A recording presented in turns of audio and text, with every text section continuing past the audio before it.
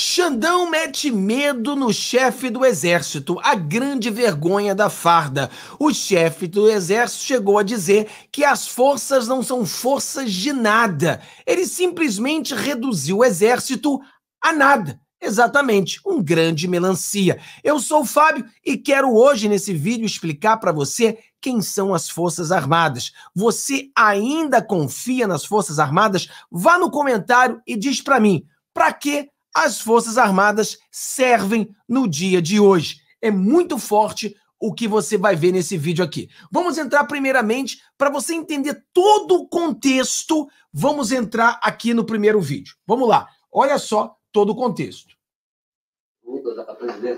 Esse medo do comunismo por parte de alguns militares envolvendo Lula, isso existe? Isso se justifica? Primeiro, olha, nós vivemos outros tempos. Vivemos um mundo mudou. O mundo, não, não, não há mais o, o, a divisão, o muro de Berlim já caiu há muito tempo. E não existe no Brasil essa ideia de que existe o comunismo o comunismo não acabou. Ali não existe o comunismo. No Brasil não existe. E outra coisa, o presidente Lula é um sindicalista. Eu não vejo o presidente Lula, jamais o vi como um comunista. Porque as pessoas têm uma mania de pensar que ser de esquerda é ser comunista. Isso não existe. Ser de esquerda, é, realmente, ela, ela quer um Brasil melhor, é um Brasil mais solidário, um Brasil mais próximo, um Brasil que pensa em mais pobre. É tudo isso que a esquerda pensa. Então, ser de esquerda não é ser comunismo, e o comunismo, para mim, não existe no nosso país. E o senhor, conta para a gente, para encerrar, é de esquerda ou de direita? Nós, militares, não somos nem de esquerda, nem de direita, e nem temos partido. Nós queremos o melhor para o Brasil. Rapaz, ele não é nem de esquerda nem de direita. Parece que ele tem as duas bolas do Lula dentro da boca dele, dizendo que o Lula é uma maravilha. Mas aí, o mais interessante, eu gostaria que ele explicasse isso aqui. Explique isso aqui, ô, ô amiguinho. Explique isso aqui.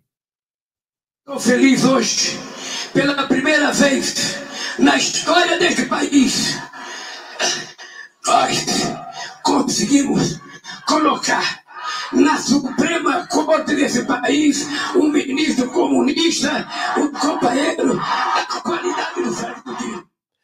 existe comunismo, mas o Lula diz que conseguiu, pela primeira vez na história do Brasil, colocar um comunista na Suprema Corte. Mas comunismo não existe. Peraí, e esse aqui? Vamos lá. Nós fomos acusados. Vocês sabem quanta difamação e quantos ataques pejor, pejor, pejorativos se faz contra a esquerda na América do Sul. Nós não somos vistos pela extrema-direita fascista, nem do Brasil e nem do mundo, como organizações democráticas. Eles nos tratam como se nós fôssemos terroristas. Ele nos acusa de comunistas, achando que nós ficamos ofendidos com isso. Nós não ficamos ofendidos nós ficaríamos ofendidos, nós ficaríamos ofendidos se nos chamasse de nazista, de neofascista, de terrorista, mas de comunista, de socialista, nunca. Isso não nos ofende, isso nos orgulha, muitas vezes. E muitas vezes. Isso nos orgulha.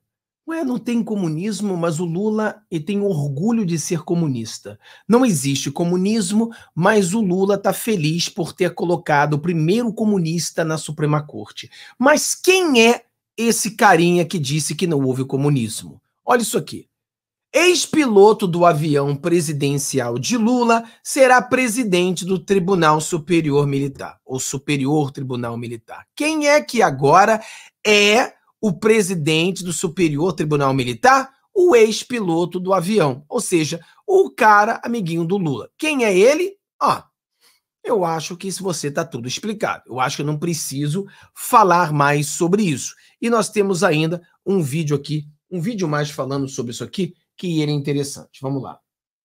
Tá tudo errado nessa entrevista, tudo. As falas, as perguntas que não foram feitas, o contexto histórico atual e do passado.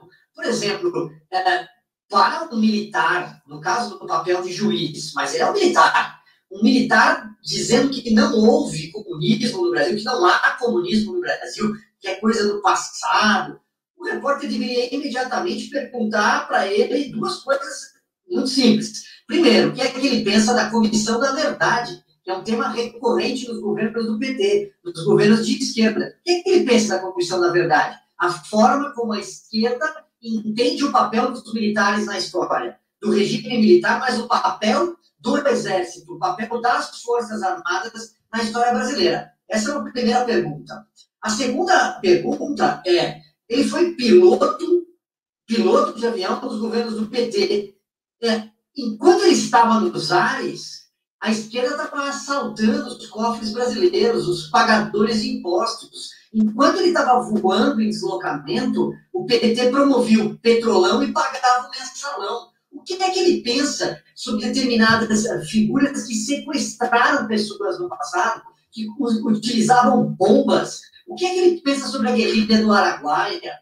O que é que ele pensa sobre o Partido Comunista do Brasil? Esse é o nome do PCdoB. Partido Comunista do Brasil. O que é que ele pensa sobre a fala do presidente da República, citada por vocês, de que até que, enfim, temos um comunista na Suprema Corte? Ou será que é lá que ele quer chegar também, um dia, se tiver uma vaga? Então está tudo errado nessa entrevista. Mas ela é autoexplicativa no momento que o Brasil está vivendo deu para entender, né? Acho que, acho que todo mundo que está assistindo sabe o que é que está acontecendo no Brasil. E essa entrevista, pessoal, é uma entrevista que faz pouco tempo atrás, mas tem uma entrevista muito maior, muito mais detalhada, que foi mais ou menos Cara, eu acho que deve fazer uns cinco meses atrás. Eu vou tentar resgatar aquela entrevista, mostrar para vocês, talvez até mesmo na nossa live das 15 horas. Vou tentar fazer isso. Você sabe que todos os dias às 15 horas nós temos um programa chamado Aconteceu Agora. Então, às 15 horas é muito importante, uma das lives é, com mais audiência no Brasil, aquele horário, principalmente proporcional ao nosso canal, né? Que o nosso canal novo é um canal pequeno, mas tem a gente tem tido muitas pessoas assistindo no canal. Agora, vamos aqui ao general, né? As Forças Armadas, a honra brasileira, os homens da farda Olívia, o, o, o, o chefe do exército diz concordar com decisão do STF sobre militares. Forças não são poder de nada. Olha isso. O comandante Melancia, general Thomas Paiva, afirmou que concorda com o posicionamento do Supremo Tribunal Federal, que formou maioria para estabelecer que a Constituição não possibilita uma intervenção militar constitucional. A tese tem sete votos favoráveis na Corte e a previsão é de que o julgamento deve durar até no máximo oito até tomar no próximo dia 8. Os ministros estão analisando uma ação que trata sobre limites constitucionais da atuação das Forças Armadas e sua hierarquia em relação aos poderes. Na visão do, de Paiva, não há dúvida sobre o entendimento do Supremo, vem adotando a respeito do tema. De acordo com o comandante, a decisão também reforça o texto da Constituição. Está consolidado, não existe poder moderador no Brasil. Isso já estava consolidado como entendimento, já tinha entendimento liminar no próprio ministro Luiz Fux. Não havia dúvida sobre essa questão. A decisão do Supremo esse pensamento não causava dúvida no exército brasileiro. É um entendimento em questionamento. Mostra que o texto constitucional está consolidado e não existe poder moderador no Brasil. Esse entendimento, na minha opinião, fortalece o texto constitucional com aquilo que pode e não pode ser feito pelas forças. As forças não são poder de nada, diz Thomas Paiva à Globo. O tema chegou ao STF por meio de uma ação apresentada pelo PDT, que é o Partido Comunista Disfarçado, em 2020, questionado o emprego das Forças Armadas pelo presidente da República, sobretudo com base no artigo 142 da Constituição. O artigo 142 é, diz que as Forças Armadas, constituídas pela Marinha, pelo Exército e pela Aeronáutica, são instituições nacionais permanentes e regulares, organizadas com base na hierarquia e na disciplina, sob autoridade suprema do presidente da República, e destina-se à defesa da pátria, à garantia dos poderes constitucionais e por iniciativa de qualquer destes da lei e da ordem. Relator do julgamento, o ministro Luiz Fux, defende a visão que uma leitura originalista e histórica do artigo 142 não permite qualquer intervenção que admita o emprego das Forças Armadas para a defesa de um poder contra o outro. Ele ainda repudiou o discurso que o pretexto de interpretar o artigo 142 da Constituição encoraja uma ruptura democrática. O magistrado também afirmou que inexiste no sistema constitucional brasileiro a função de poder moderador das Forças Armadas, uma vez que a Constituição é, instituiu o, o pétreo princípio da separação dos poderes e seus mecanismos de realização. Então você vê que a gente pode discutir sobre isso, a gente pode bater papo sobre isso, né? A realidade é que não mudou absolutamente nada. Nós sabemos quem são as Forças Armadas, nós sabemos que as Forças Armadas supostamente estão aí para defender o Brasil em caso de invasão, em caso de uma guerra. Infelizmente, eu preciso dizer a você que eu não vejo que as nossas Forças Armadas são capazes para isso, né? Você tem o caso do próprio CID das Forças Especiais desmaiando com um mandato de prisão uma força especial são homens treinados para resistir torturas mentais, torturas psicológicas, torturas físicas, todos os tipos de tortura. O pessoal das forças especiais são pessoas treinadas para qualquer tipo de coisa, para enfrentar uma guerra, para enfrentar tortura, para enfrentar prisão. E o caso do nosso soldado das forças especiais, ele desmaiou com um simples pedido de prisão. Então, e nós temos aqui um general que ele nem sequer tem coragem de enfrentar os togados, discordar com os togados, simplesmente colocar a sua opinião. Não tem. Ele simplesmente concorda com tudo. Por exemplo, alguns questionamentos. Soldados, os militares, não deveriam estar sendo julgados pelo STF, mas estão. Por quê? Porque o juiz ali da, do, do Tribunal Superior Militar ele, o Superior Tribunal Militar, ele era um motorista do Lula. Então, ele diz que não existe comunista porque ele é um comunista. Ele sempre esteve com Lula. Ele sabe quem o Lula é, são amigos, e por isso que o próprio presidente do Superior Tribunal é, é, Militar, ele concordou com a decisão de que os militares seriam julgados pelo STF. Não faz nenhum sentido, isso nunca fez sentido, isso nunca aconteceu, mas está acontecendo agora uma coisa que nós nunca vimos na nossa história, mas você vê quem eles são. Uma, de uma vez por todas, entende? As, a pessoa me pergunta, mas Fábio, eu tenho um filho que está entrando nas Forças Armadas. Fábio, eu tenho um filho que está servindo no quartel. Vamos lá. Pessoal, a cúpula, né? Os, os generais que sentam nos escritórios e fazem milhões, esses generais são os globalistas. Eles são aqueles que guiam né? Porque hierarquia. O seu filho no exército, ele está aprendendo coisas boas, ele está sendo um, um, um, rapaz digno. Então não fique aborrecido se o seu familiar é um militar, não fique aborrecido se o seu marido é um militar. Não, nada disso. O que nós temos que entender é que a maioria do exército brasileiro são pessoas do bem, são pessoas boas, são pessoas de honra. Mas aquela cúpula ali, Aqueles que realmente não fazem nada, ficam só sentados recebendo dinheiro e seguindo a ordens do sistema, eles não são como o seu filho, o seu marido, não são como eles. Então nós temos que diferenciar as coisas, e quando a gente fala das Forças Armadas, estamos generalizando, estamos falando de instituição. A instituição é globalista.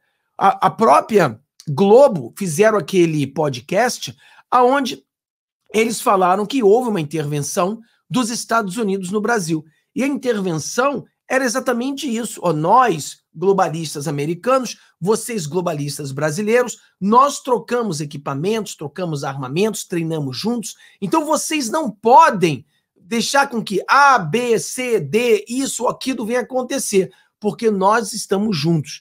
Basicamente é isso, tá bom? Então, cara, não espere nada das Forças Armadas. Quem vai mudar o Brasil sou eu e você. Não é o Trump, não, não são as Forças Armadas, não. Quem vai mudar o Brasil é o povo brasileiro. Se o presidente Donald Trump ganhar nos Estados Unidos, ajuda.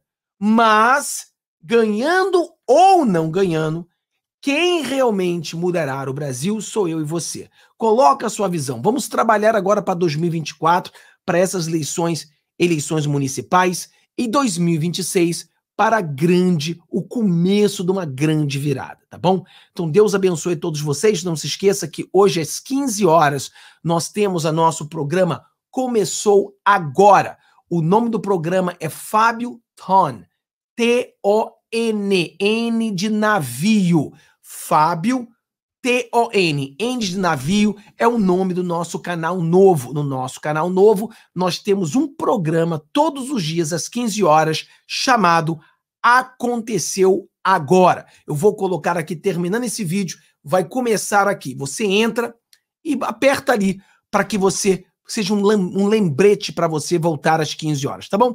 Deus abençoe a todos. Vejo vocês às 15 horas no nosso canal novo. Tchau, tchau.